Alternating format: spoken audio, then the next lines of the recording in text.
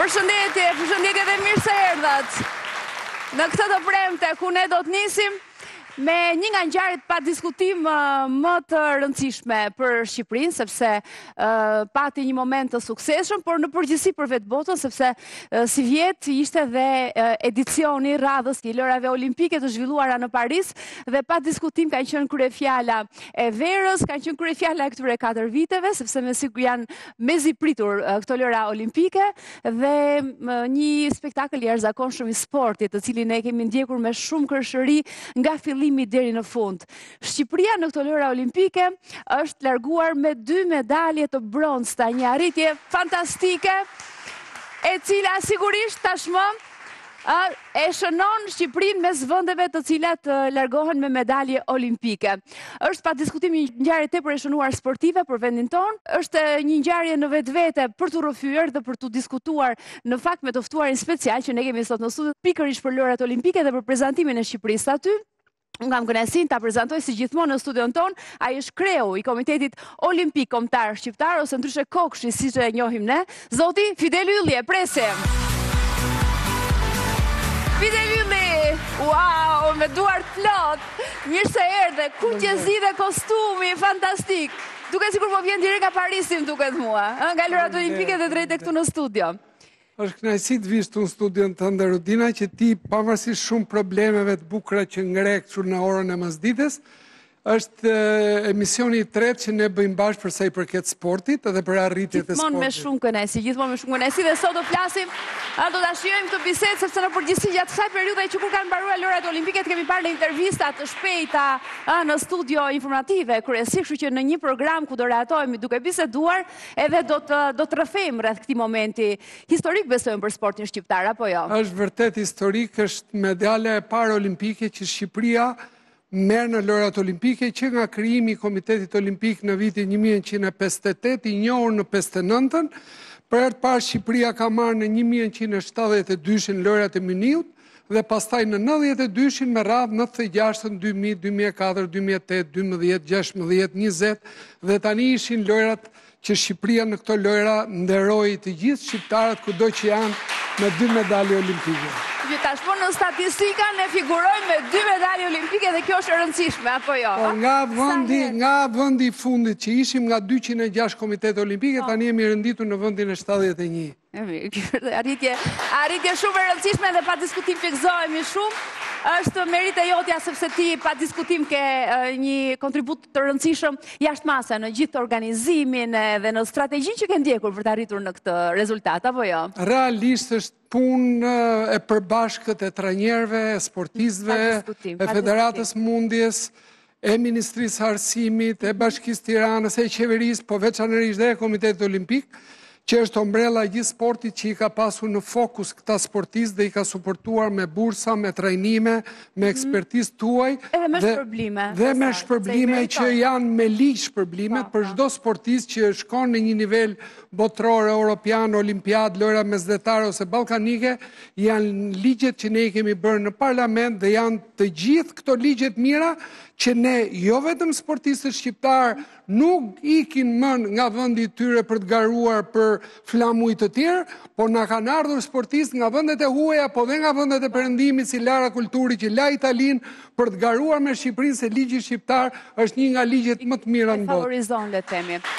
Shiko, ky është një fenomen që nuk ndodh vetëm në Shqipëri, ë, ne e shohim kudo në sportin e përbotshëm, që tashmë kanë ndryshuar shumë kohët edhe janë shumë më të miksuara, le të themi, qoftë skuadrat e futbollit, edhe përfaqësimet në disiplina të tjera sportive, kështu që ë um, sportistët sot nuk duhet parë më në mënyrë aq të kufizuar sa ç'është parë më herët, apo jo? Ja. Shqipërisë i kanë ikur në këto tridhjetë vite tridhjetë e shtatë medalje olimpike, duke filluar nga Pirro Dhima, Luan Shabani, Viktor Mitru, Jorgo Xhelili, Lorenc Koka, Mirela Manjani dhe i fundit në dy mijë e dymbëdhjetë na iku Elis Guri, një sportist që në dy mijë e tetën garoi me Shqipërinë Lojërat Olimpike dhe mundi kampionin olimpik, në mbas dy vjetësh ai garoi për Bullgarinë dhe doli kampion bote për Bullgarinë. Kështu që medaljen e mori Bullgaria në këtë rast. Bote, e mori Bullgaria, siç kanë ikur dhe 37 medalje të tjera, po bota sot është globalizuar dhe një sportist, një vit, po mos bëjë me Shqipërinë, ti nuk e mban dot, ai mund të iki, mund të garojë. Mhm. Dhe tani në lojërat olimpike të Parisit, qe një debat i madh, ishte një basketbolist afrikan nga Nigeria, luste në NBA në Amerikë, në, në kampionatin e famshëm të NBA-it, dhe kishte mundësi të zgjidhte ose të përfaqësonte Amerikën lojërat olimpike, ose Francën, ose Gjermaninë. Dhe kishte hyrë në negociata me të tre shtetet. Ishte shumë afër me Francën dhe në momentin e fundit një dy muaj përpara lojërave, ai vendosi të bëjë me Shtetet e Bashkuara të Amerikës. Dhe në një moment kur ai futesh në lojë, Publiku francez i irrituar pse nuk zgjodhe ti Francën na përfaqësosh ne, po vajte me Amerikën dhe përgjigja e tij ishte unë kisha ëndërr që në karrierën time do të kisha një medalje olimpike dhe këtë mund ta merrja vetëm me Dream Team-in e Amerikës dhe ai kështu bëri. E qartë. Komentojmë pak veshjen, ë? Ky kostum duket i dizenjuar enkas për në lojërat olimpike, ka qenë një kostum që ke veshur dhe atje? Ky është kostumi i delegacionit olimpik dhe unë prandaj erdha që të respektoj gjithë audiencën tënde. Të falenderoj shumë, dhe... është shumë bukur. Kjo është veshja e Komitetit Olimpik, kuqezi, me atlete Team Albania, me bluzën Team Albania, me gjithçka. Kopsat e kuqe të xhaketës, me kopsat me gjitha, dhe Unë sot... Me dy çanta, jo me një. Sot kam ardhur me disa peshqeshe nga disa pjesë të të gjithë setit të delegacionit olimpik. Materialet promovuese, le të themi. Materiale promovuese, bluza, termus, kapele të cilat... E do t'i shojmë, do t'i shojmë se këta ngjyrat e bukura, aksesorët na pëlqejnë shumë. Falenderoj që je këtu Fidel se u duk sikur e zhvilluam gjysmën e bisedës në këmbë. Ja tek jemi me Fidel Yllin tashmë të rehatuar dhe unë dua tani të sjell në fakt një material. Është një material që Është KOKSH-i që e ka realizuar. Ne kishim bërë edhe insertin tonë, por meqë ishte shumë më i pasur në plane, sepse sigurisht ju keni gjithë materialet e mundshme të arkivës që sjell rrugëtimin e sportistëve tanë, pikërisht në këtë Olimpiadë, pra në Lojërat Olimpike Paris dy mijë e njëzet e katër, shohim materialin dhe kthehemi në studio.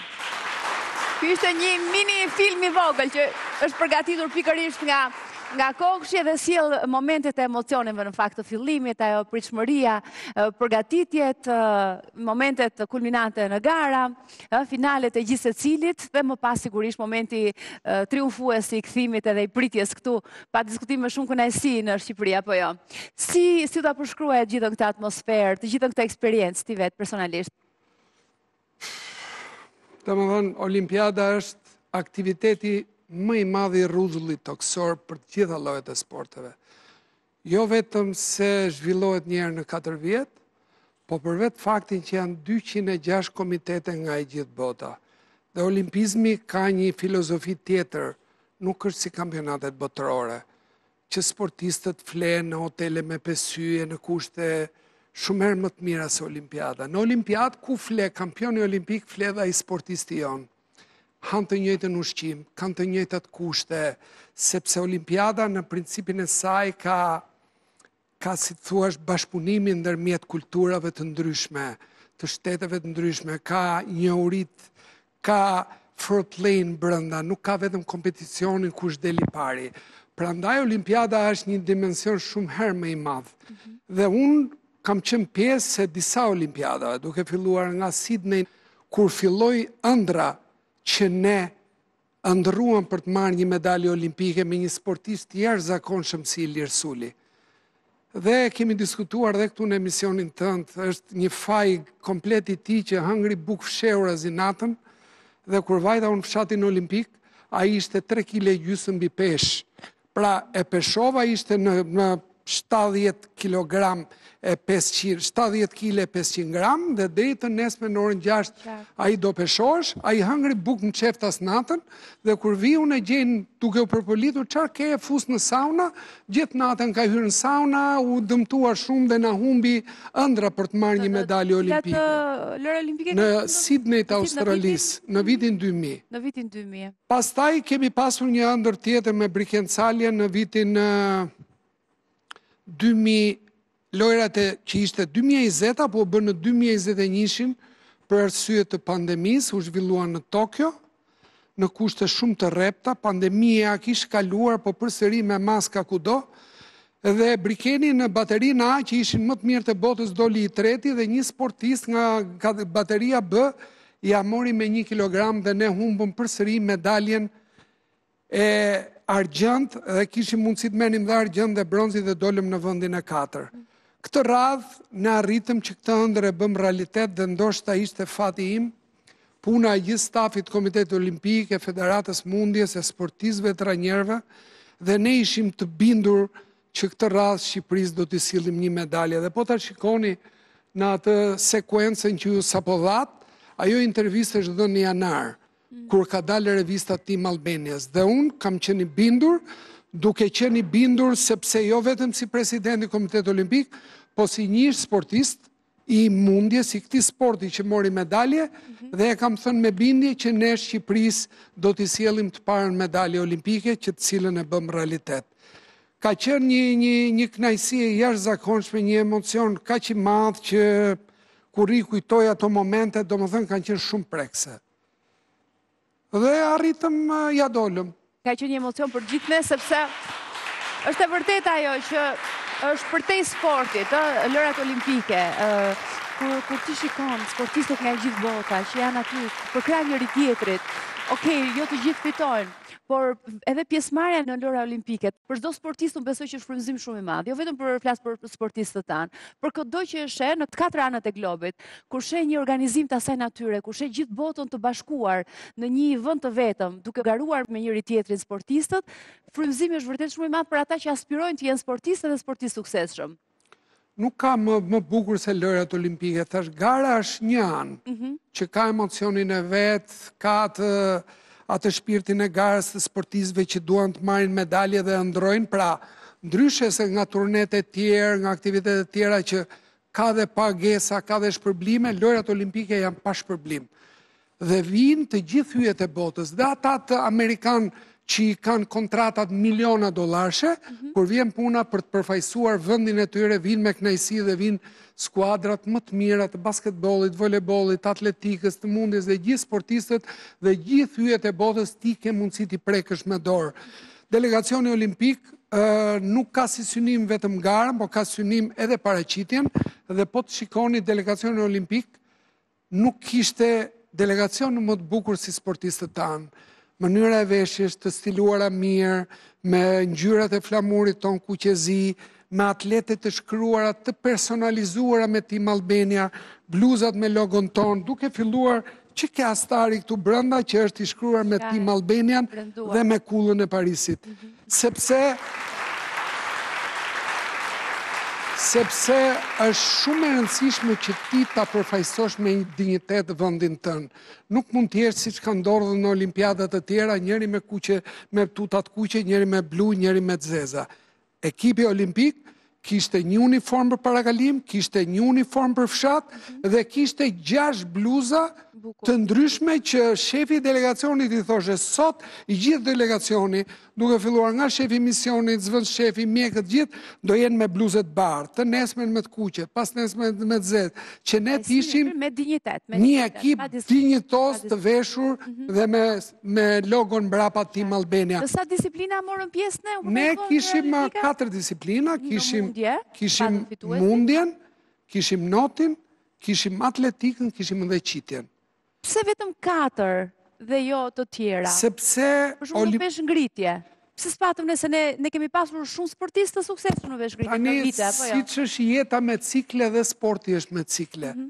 Ne në peshëngritje jemi prezent në të gjitha olimpiadat që ka marrë po. Shqipëria, nga 72-shi, biles, kemi marrë një medalje në kampionat botëror dhe në olimpiad, ishte bashkë, botëror dhe olimpiad, dhe Ymer Pampuri ka dalë kampion bote në stilin e forcës në vitin 1972, ku bëhej dhe olimpiada në të njëjtën kohë. E për ta sqaruar se e kam vënë re nëpër komente në media sociale me rasin e Ymer Pampurit, sportistit tonë të madh, që e ngatërronin me një si fitues olimpik, edhe jo, thonin që medaljen e parë olimpike ta marrë ai. Do ishte kënaqësi që të ishte ai. Ka qenë kampionat botëror. Ai ka pra, qenë botëror dhe olimpiad bëheshin bashkë. Pra ah. bëhesh në të njëjtën kohë, bëhesh dhe quhesh dhe kampionat botëror sepse kishte tre stile. Në qoftë se ai ka fituar aty, bie që të ketë fituar edhe një olimpiad. Jo, ka fituar vetëm në në stilin e forcës sepse që të marrësh medalje në olimpiad, është ndryshe si kampionati botëror. Për shembull, në ah. kampionat botëror, ti ke drejtë të marrë tre medalje, një në shkëputje, një në shtytje, një në dygarësh. Mhm, mhm, mhm. Kurse në olimpiadë, ti ke vetëm një medalje, mblidhen të dy stilet ah, dhe merr vetëm një medalje. Nuk merr në stilin. Vetëm po. si kampionat botëror, vetëm në një stil. Nga tre stile që ishin atë kohë dhe stili i forcës, që ky ka dalë kampion bote në këtë olimpiadë, është hequr, është hequr, Dhe ky është kampion bote i përjetshëm se ky stil u hoq se dëmtonte shtyllën kurrizore. Mhm. Kjo është medalja e parë. Medalja e parë është kjo që ka ardhur këtë radhë në Paris nëpërmjet dy sportistëve tanë Çermenit dhe Islamit që kanë bërë dhe për ta thënë që këta janë sportistë të natyralizuar, Por... Të flasim pak për historinë e tyre, sepse ne po, e shpjeguam pak që në, në thelb praktikisht Shqipëria është përfaqësuar aty, flamuri shqiptar në botë, le të themi, është për Shqipërinë është një promovim edhe një marketing parë edhe nga ky këndvështrim i jashtëzakonshëm, por si është historia e tyre për të kuptuar, si kanë ardhur ata në Shqipëri? Këta i ka sugjeruar dhe i ka piketuar presidenti i Federatës së Mundjes, Sahit Prizreni, dhe më ka ardhur mua, më ka thënë që president, janë dy sportista, që njëri ishte nga Dagestani, tjetri ishte nga Çeçenia, e tha nuk janë as kampiona bote, as kampiona Europe. Janë sportista të mirë, tha dhe të kemi mundësi janë të rinj tha nga 25 vjeç ishin kur erdhën, dhe t'i marrim ne. I bie pak a shumë para sa vitesh? Para ja 4-5 vjetësh kanë ardhur dhe biles mbas 2 vjetësh që erdhën, Abakarovi doli kampion bote në mes Beogradit. Dhe vitin tjetër doli i treti në botë dhe u kualifikua për në Olimpiadë. Gjithmonë me flamurin shqiptar. Gjithmonë. Po, po. Ky tjetri Islami doli i treti në Europë parvjet dhe kampion Europe këtë vit. Mhm. Dhe u kualifikua përsëri. Dhe i fundit erdhi përpara gjashtë muajsh, djal i ri dhe ky 24 vjeç e gjysëm, por siç thashë nuk kanë qenë as kampiona bote që ne i morëm një shteti, këta u po, bënë këtu. Po, po, domethënë, Rusia dhe këto vendet e Lindjes si këta prodhojnë me shumicë, kanë, e kanë fabrikë mundjen, peshëngritjen, xhudon dhe këto sportet që janë të stilit të, të arteve marciale. Dhe ne i morëm këtu, i pregatitëm, Bëmë disa kurse trajnimi dhe me nja dy kampiona bote që na i solli Komiteti Olimpik Ndërkombëtar, kualifikuam trajnerët tanë, është bërë një punë shumë e mirë nga federata, nga sejiti, nga trajnerët, që arritëm ne në krye të dy vjetëve këta t'i japin medaljet e para Shqipërisë, kampion bote dhe kampion Europe.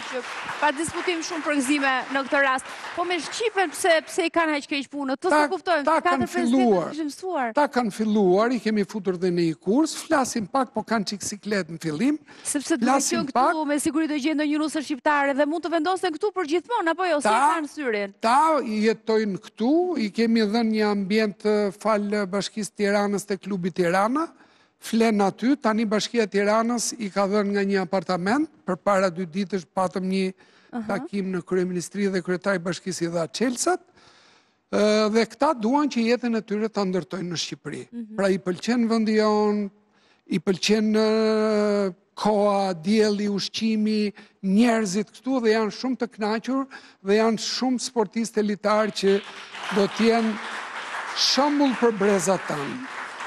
Flasim pakëz për këtë moment, sa frymëzues janë uh, këta sportistë dhe këto fitore për të rinjtë që duan, që aspirojnë të bëhen sportistë të suksesshëm në Shqipëri. Unë, shiko, janë modelet më të mira të sportit shqiptar, janë Luiza Gega, Briken Calja, Erkan Qerimaj, Izmir Smajlaj, Alban Beqiri, janë sportista që kanë vënë gurin e themelit dhe i kanë hapur rrugën këtyre kampionave sot. Dhe kjo është falë atij ligjit të mirë që kemi bërë në parlament, që këta kanë ardhur, sepse marrin shpërblim, pra qeveria i dha 50 milion lekë, mhm. i dha shpi apartament, Bashkia e Tiranës i jep rroga, Komiteti Olimpik i jep nga 1200 dollarë, dhe duke marrë gjithë shumën e këtyre, janë shumë të knaqur për gjithë këto benefice që këta marrin nga sporti, nga Shqipria, nga ligji i mirë që është bërë. Absolutisht. Për Luiza Gegën flasim pak, si ishte prezentimi i saj, sepse në fakt... Luiza ka dhënë prova të jashtëzakonshme dhe ka treguar veten se çfarë kampioneje fantastike ka qenë, është edhe një përfaqësim i Shqipërisë gjithmonë me shumë dinjitet. Më erdhi më shumë keq për edhe për atë mesazhin që ajo shkroi pas pas prezantimit në sepse m'u duk sikur e për, përjetonte shumë keq. Po unë besoj që ajo ka dhënë kontributin e saj në sportin shqiptar. Mua nuk më pëlqeu mesazhi i Luizës që tha dështova, ajo nuk mund të dështojë. Pikërisht. Luiza është Pikërisht. Luiza është një kampione e madhe e jashtëzakonshme që ka ngritur flamurin shqiptar në Ballkaniada, në Mesdhe, në Lojrat po. Olimpike Europiane, ka hyrë në Lojrat Olimpike me kualifikim dhe ka dalë në 10 të mirat në Olimpiadë dhe e mhm. katra në botë që të garosh me kenianet, është e jashtëzakonshme dhe unë mendoj unë mendoj që Luiza nuk duhet të mërzitet sepse sporti i ka dhe këto momente, po Luiza unë po e them për herë të parë bashkë me Abakarovin, Abakarovin ne Ishte medalja e parë që ne mund merrnim Abakarovin dhe ne nuk donim ta bënim publike se s'donim të krijonim ankth, po Abakarovi ne na doli në fshat me Covid. Dhe gjatë lojra olimpike, në fshatin olimpik 15% e sportistëve ishin me Covid. Sepse në fakt ka qenë periudhë Covidi kjo verë. Dhe ai ishte totalisht i këputur, i mbaruar dhe ne kur i vajti pulsi 5 u friksuam sa mjeku që kishim marrë me vete Bujari tha ky s'duhet të hyjë në garë, ai hyri garën e parë e fitoi. Tashi ju ta themi mes nesh, Nuk na dëgjon njeri, nuk i thatë njeriu, nuk lajmëruat. Ne nuk i thamë njeriu se... Se do ishte lejuar të garonte. Se po t'i thonim njeriu, do të krijohesh një ankth në gjithë fshatin dhe... Nuk e di. Ky qenka lajm, ky qenka lajm. Ky ishte, ky ishte një lajm që e mbajtëm shumë sekret, unë, shefja e misionit, Sekretari i përgjithshëm biles dhe në fund në momentin e e garës që se i ti ishte i mërzitur se ky s'po garonte dhe e mora veç i thashë president mos u mërzit se ky i thashë unë mjafton mbarojë këtë garë se këtu këtu këtu është situata dhe s'duhet të hapim ankthin me të tjerë dhe e izoluam në një dhomë ah, okay. e izoluam në një dhomë i morëm masat me maskë nuk preku ah. më njeri sepse ishin sportistët e tjerë ku këta ishin gjithë në një ambient mhm. Se ishim... Mund të penalizoheshin dhe të tjerët po dakord. Se i shikon, i shikon lojrat kështu Rudina nga televizori dhe të duket, por të arrish te kjo medalje, të arrish ato sakrifica që bëjnë këta sportistët tanë, është, është një gjë e jashtëzakonshme. E vërtetë, absolutisht. Këta janë, janë ambasadorët më të mirë të Shqipërisë. Këta e prezantojnë Shqipërinë me shumë dignitet. Mhm. Dhe unë jam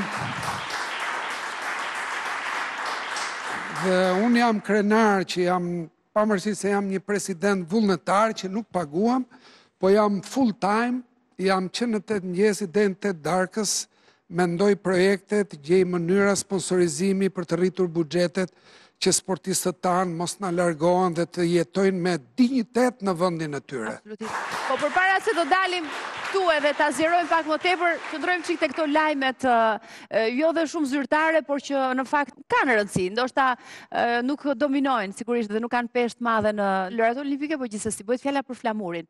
Flamuri i kuq është mbajtur nga kombëtarja, jo, nga përfaqësia shqiptare në atë anijen që prezantonte Shqipërinë, pra ku ishte vendosur ekipi shqiptar, dhe që Luiza Gega tha që ai s'ishte flamuri ynë, është ai flamuri që vjen nga Kina që është i printuar gabim, që ka disa këto më shumë. Shqiponja, s'është ajo që duhet. Ta thoshte dikush tjetër, do thosha nuk e di. Ta thoshte Luiza Nuk më duket normale për një arsye sepse Luiza është dy herë flamurmbajtëse. Dhe Luiza dhe të gjithë Luizat që mbajnë flamurin e dinë shumë mirë që ne nuk marrim flamur nga Shqipëria, ta printojmë ta marrim atje se Komiteti Olimpik Ndërkombëtar dhe Komiteti Organizator i lojërave ka rregulla mhm. ku të gjithë flamurët e gjithë shteteve i printojnë ata Biles ne kishim marrë disa flamurë të vegjël që do parakalonin në anije këta dhe na i morën nga dora, i thanë jo, nuk lejon këto flamurë dhe na dhanë flamurët e tyre. A, pra ai flamur është i printuar? Ai flamur është i printuar nga organizatorët. Ah. Nuk është flamuri jonë, se nuk të lejon njeri, ka standarde, himni një. Dhe flamurin e kanë ndërkombëtarët ndër vite. Aty janë bërë dhe gafa të tjera. Për shembull, Po të tregoj... Se qarkullon në internet edhe ndoshta mund të jetë krijuar një keq... Nuk e di se ç'ka ndodhur, ne menjëherë sa e pamë atë, unë e dallova menjëherë, mhm. dhe i kemi çuar një e-mail, komitetit organizues, i kemi thënë, ju lutem, ky nuk është flamuri jonë dhe ndërrojeni menjëherë, na kanë kërkuar falje, dhe e kanë ndërruar të nesërmen menjëherë flamurin në gjithë pallatet e sportit. Ky nuk ishte gabimi jonë. Ata bënë gabim, morën flamurin e Komitetit Olimpik Ndërkombëtar dhe e vunë me kokë poshtë. Dhe kur parakaloi ekipi i Koresë së Jugut thanë Koreja e Veriut. Pra, lojërat kanë gafa të po, kësaj po, po, natyre. Dhe po të shikosh të tregoj unë ty një video, po të shikosh tani në lojërat paraolimpike që janë akoma duke u zhvilluar, ka dalë në parakalim ekipi i Gjermanisë dhe Spikeri në vend që të thoshte ekipi gjerman, ka thënë ekipi Albania. Është një gafë, po. është një gafë që janë gjëra që ndodhin. Unë e kam këtu. E qartë. E kam këtu. Ne jemi kemi përfaqësi në lojërat paralimpike jo? Nuk kemi sepse Komiteti Paraolimpik akoma nuk është krijuar, ne tani jemi gati, kemi iniciuar në ligjin e sportit që Komiteti Paralimpik të futet menjëherë që të ketë mundësi mhm. që edhe Shqipëria e ka pasur dikur, po, po për disa arsye siç ndodhin gjithmonë rëndom në federatat tona, patën një sherr të brendshëm kush je ti, kush jam unë, nuk paguan kuotat dhe Komiteti Olimpik Botëror i përjashtoi. Ne e kemi prioritet që Paraolimpiku janë njerëz që kanë probleme me një dorë, me një këmbë, probleme që janë të gjymtuar, të kenë mundësi... Kemi pasur përfaqësi, se unë kemi pasur. Kemi pasur dhe kemi trajtuar edhe në program. Kemi pasur dhe shumë shpejt ne do ta krijojmë Komitetin Paraolimpik. Bukur, shumë bukur. Përsa i përket shpërblimeve, edhe, edhe gjithë investimet le themi që bëhet për këta sportistë, sepse unë besoj që shpërblimi është ai motivuesi për ta bërë një sportist që të marrë një vendim të qëndrojë edhe të, të impenjohet, le themi, në përfaqësimin e një vendi apo në garë. Por në vetvete investimi përgjatë gjithë kohës që ai përgatitet është jashtë mase e rëndësishëm, po aq sa edhe shpërblimi në fund, madje dhe më e rëndësishëm ndoshta. Ë, në ç'nivele janë këto investime dhe në ç'standarde le të themi është stërvitja parapërgatitore e sportistëve tanë për lojërat olimpike po edhe në përgjithësi, kur kemi përpara gara të rëndësishme. Shiko, në sport në këto vite unë kam qenë deputet 12 vjet. Tetë vjet kam qenë në Komisionin e Edukimit dhe Mjetet e Informimit Publik, ku ishte dhe Kultura dhe Sporti dhe kam qenë sekretar i Komisionit Parlamentar për Edukimin dhe Sportin.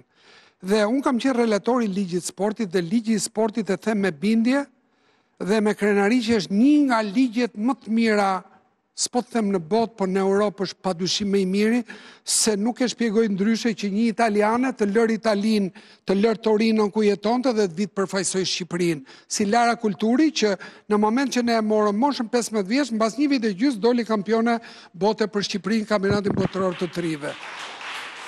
Dhe ligji është njëra anë që është një ligj shumë i mirë i shpërblimeve, biles unë Pardje kam pasur një bisedë me kryeministrin dhe i kam thënë do të sugjeroja që të bësh një ndryshim në VKM për shpërblimet që duhet të bëjmë një diferencim ndërmjet kampionatit botëror dhe lojrave olimpike. Kampionati botëror zhvillohet një herë në vit, lojrat olimpike një herë në 4 vjet. Çfarë duhet të bëj? Duhet të bësh një gjë i thashë, që ai që do të marrë medaljen e artë duhet ta vësh në shpërblim që të marrë 500.000 dollarë ose 500.000 euro. Vetëm kështu ne do të shkojmë ke medalja e artë. Piro Dhimën me Luan Shaban. Sigurisht. Jo, ai nuk është deputet. Këta, këta janë bërë ushtarakë, siç i kemi bërë dhe ne, pra ne kemi marrë ligjin grek, mhm. Dhe e kemi bërë më të mirë se Greqia, se Greqia në momentin që këta mbaruan lojërat olimpike, i thanë hajde tani në repart ushtarak. Ne kemi bërë një ligj që sportistët tani, a këta sportistët javën që vjen do të bëhen kolonel. Luiza Gega është kolonele. Sportistet tona të Kosovës, Nora, Distria, Majlinda Kelmendi janë kolonele. Briken Calja, Erkand Qerimaj, Albani janë kolonel dhe marrin gradën, marrin shpërblimin, marrin pagën, marrin pensionin e një koloneli. Tregon që ligji shqiptar është një ligj i jashtëzakonshëm për sportistët tanë. Dhe përsa i përket garave të ardhshme dhe sportistëve aktualisht, si është kualiteti i tyre dhe kemi pritshmëri në disiplina të tjera? Ku mendon që ka vërtet perspektivë shumë të mirë sporti shqiptar për të prezentuar? Ju thatë që pse mungoi peshëngritja. Mhm. Dhe unë të shpjegova që thashë siç është jeta me cikle, po. edhe sportet janë me cikle. Që do të thotë, ne kishim një brez të mirë peshëngritësash, Ilir Suli, Kafarani, dhe të gjithë ata djemtë e Elbasanit që stërviteshin nga Ilir Çela, nga Nardi, dhe tani kemi një brez tjetër që duan të zëvendësojnë Brikenin dhe Erkandin, mhm. Kristi Ramadani, që është 23 vjeç, doli nënkampion Europe në Bullgari vjet. Mhm. Po kemi një brez tjetër nga Shtërmeni, nga Shkodra, nga Durrësi dhe nga Tirana, kemi një Enkileda Carja, që është 16 vjeçe, është kampione Europe për moshat. Në çfarë sporti? Në peshëngritje. Jo. Kemi shumë talente në peshëngritje që vetëm këtë vit kanë marrë 12 medalje, 6 ari, argjendi dhe medalje bronzi. Dhe të jesh i sigurt që peshëngritja në lojërat olimpike që do të përfaqësojë Shqipëria në 2028 në Los Angeles, po. do të jetë jo me peshëngritjen, po pretendojmë që me peshëngritjen do të marrim medalje përveç mundësve tanë, përveç Jurdo Canit edhe Ernest Merdanajt në taekwondo, Që ne mendojmë që t'i zgjerojmë sportet më shumë. Fantastike, fantastike. Dua tani që, Fidel, të na tregosh pak edhe materialet promocionale, sepse kemi shumë kuriozitet të shohim se çfarë ka aty dhe si e keni promovuar ju Shqipërinë këtë herë, por përpara do të kemi një hapësirë të shkurtër publicitare, dhe më pas do të rikthehemi për të parë gjithçka se si është prezantuar, le të themi, edhe nga ana e imazhit edhe dizajnit, brendimit, ekipi ynë kombëtar në Lojërat Olimpike. Kthehemi pas pak.